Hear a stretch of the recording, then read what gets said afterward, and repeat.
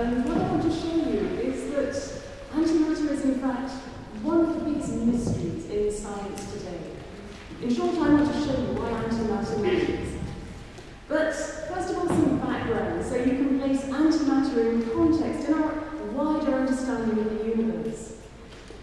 I'm a particle physicist, and the aim of my area of science is to understand the universe through understanding its structure, what it's made at the very smallest levels. Because our idea is if we can understand what holds the universe together and how it behaves here at the tiniest scales, we can understand how to understand it at much larger, everyday and beyond scales. Now, you might already know that everything you see around you is made of atoms of different types, but what we've discovered in science is that you can look deeper and see that atoms themselves are made of even smaller elements.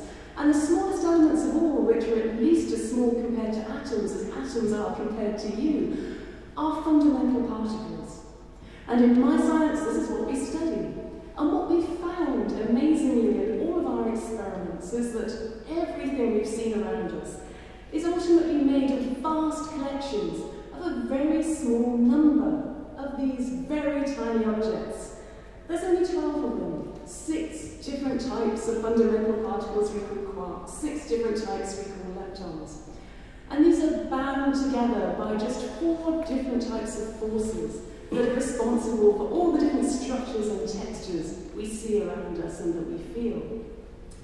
Now, that's not quite all there is in the universe, because each of these tiny matter objects also has an antimatter counterpart, a type of particle that has the opposite charge to its matter counterpart, that behaves like a type of mirror version to that matter counterpart. And we describe these particles, these antiparticles, and the forces that bind them together in mathematics, in equations. And these equations form our theory of particle physics. And our theory is what we experiments to see how good our understanding of the universe is. Now, this theory and our understanding have really developed over hundreds and hundreds of years through looking at patterns in nature for a behaviour that seems to be repeated again and again and again. We're looking at symmetries and adopting symmetry principles in the way we understand the universe. And when I say symmetries here, I'm not talking about proportions or ratios or, or beauty, even though we think our equations are beautiful. I'm talking about a very general type of symmetry, a feature, or a behaviour that doesn't change, no matter how or where or when we look at it. Because if we can identify this, we can come up with laws of nature that describe that behaviour that we know will be the same and apply in the same way wherever in the universe time in the universe you are. It's an approach that's been really successful for us in understanding the fundamental universe, and it's revealed the inner simplicity of the universe as well to us. Now, when scientists are not the only people to be attracted by simplicity and by symmetries and structures and use it in their work, very appropriately, because we're here today, Bach is an example of who was also attracted by patterns, by symmetries, and used them in his composition. And what's really remarkable to me is that some of these mathematical patterns that Bach adopts in his lines of music are really good analogues for the ways in which in our theory we describe the behaviour of this very fundamental universe. Now, I'm going to give you three examples of the patterns that Bach uses, and I'm going to show you what they correspond to in particle physics. And I want to do this because, firstly, the similarities I hope you'll see, and I hope you're not going to be too disgusted by, is, is that the similarities are so striking, but they're also going to give us some insight into antimatter and its symmetry as well. So I'm going to illustrate each of these three patterns by a very short piece of music, just, just four notes, the notes that spell Bach's name. Now, the first mathematical pattern that I want to talk about, that Bach adopts sometimes, is a reflection in time, where Bach takes a phrase and then turns it backwards, so that the last note comes first and the first note comes last. Now, in the maths that we use to describe fundamental particle physics, this is exactly the same operation that we use. And what's more, it hides a symmetry. If you reflect this music twice, once that way, once that way, you end up back where you started. And the same applies in particle physics too. If you move a particle forward in time and backward in time, you stay in the present. Nothing's changed. There is a symmetry of behaviour. Now, as well as reflecting notes in time, Bach also reflected notes in space. Vertically, on the y-axis, if you like, if you can imagine a mirror which is along the middle line of that piece of music, along the line that corresponds to the note B.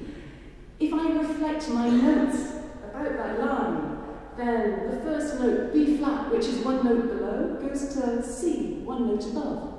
And A, which is two notes below, goes to D flat, two notes above. The C, which is one note above, goes to B flat, one note below, and then B naturally stays where it is because it's on the line that I'm reflecting back. Bach uses this. But in particle physics, we use it too, because this is the type of way in our mathematics we denote a particle's parity, the property of behaving like a mirror image of itself, which is very important when we describe its behavior with one of the fundamental forces. And again, it hides a symmetry, because you reflect these notes twice, upwards and backwards, you get back to where you started. And for our particles, if you change their parity once, twice, you end up with the same particle. Now, it's not just reflections, Bach also has rotations. So this is a bit of a stretch but if in your imagination you can imagine turning these notes round by 180 degrees so that they end up upside down and back to front, like so.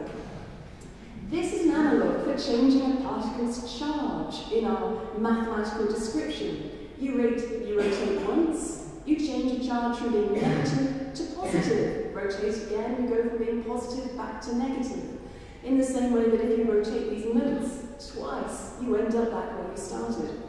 Now that's all great, but what's also very interesting is that you can do these three operations, which are called C, P, and T, in any order whatsoever in this, with this piece of music, and you always end up back where you started. I think this might have been a symmetry that even escaped Bach. I haven't found this in any of his work.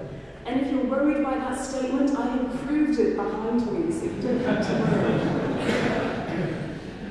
but what's fascinating for me is that we think this CPT operation is also a fundamental symmetry in particle physics. We have a theorem that you take a particle, you change its charge, its parity, its time, you will end up with a particle behaving in exactly the same way as before. We think it's one of the most fundamental symmetries in particle physics behaviour that we've come across. We haven't found any experimental evidence to the contrary, which amazes me, because by adopting the, a very similar outlook, looking for patterns, using symmetries in our respective frameworks, Bach in music and particle physicists in science have managed to answer and address very, very different questions, but using very similar tools.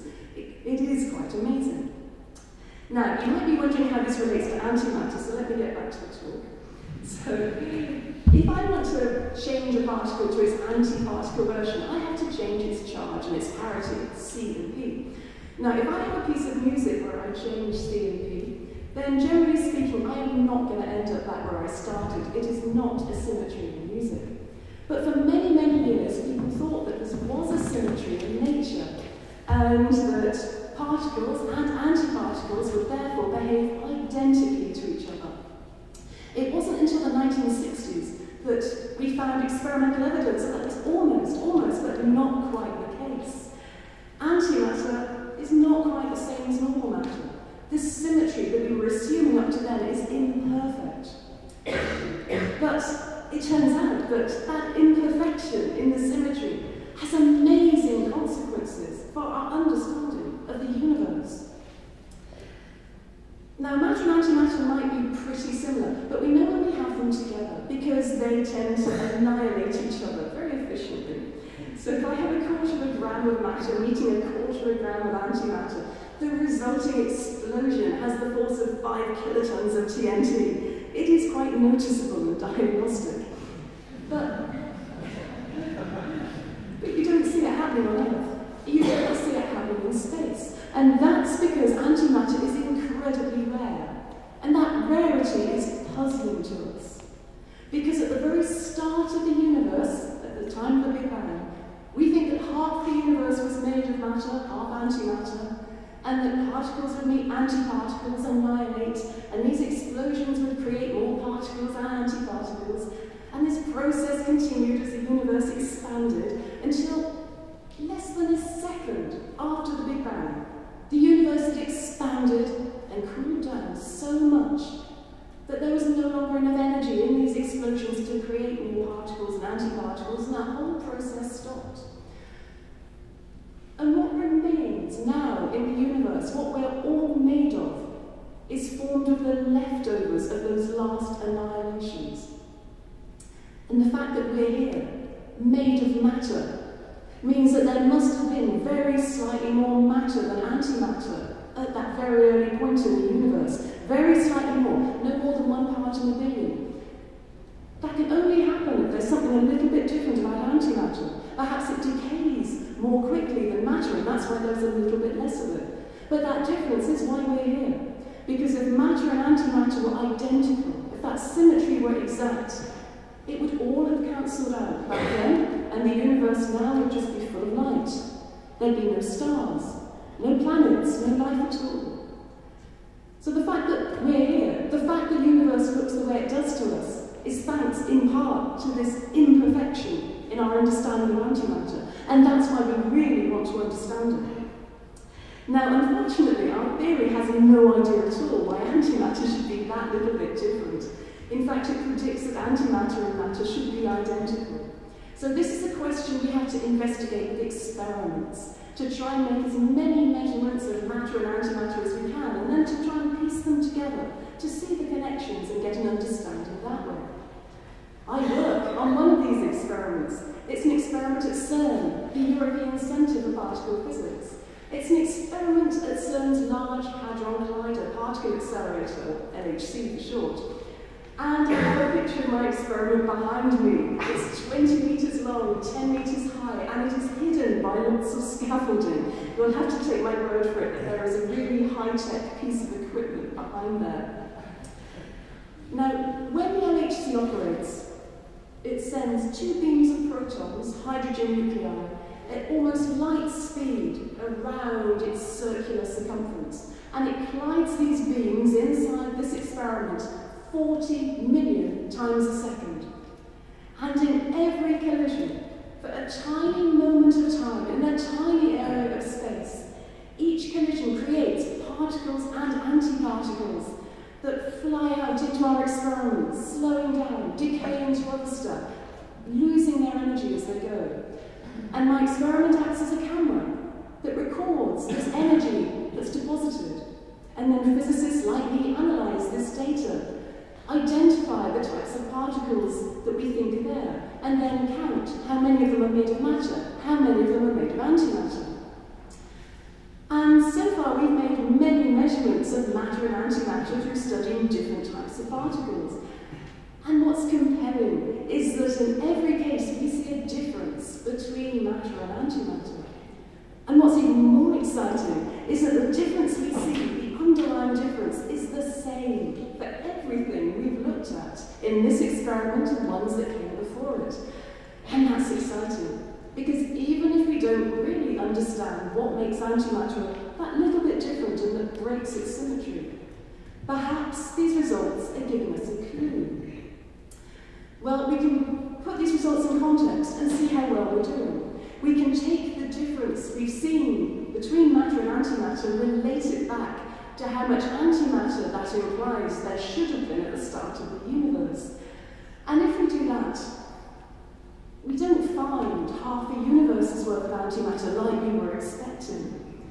In fact, we only find about a galaxy's worth of antimatter. It's much, much too small. The difference that we've seen is far too small to explain the mystery of antimatter for us. So I have to say, after many decades of experimental effort, antimatter is still very much a mystery to us. But we hope it's not going to be a mystery for much longer, because my experiment is just a fraction of the way through its ultimate data set. There are other experiments at CERN, elsewhere in the world, even out in space, that make measurements of antimatter in different regimes and in different ways. They're all sending in data at the moment. We're all analysing that data at the moment. We think now that perhaps the answer to this mystery lies in new physics phenomena that we haven't yet discovered, but which could hold the key. And we hope very much that we can discover some evidence of that in the next few years, and then finally, finally restore this broken symmetry of antimatter again and understand the universe in its infinities that much better.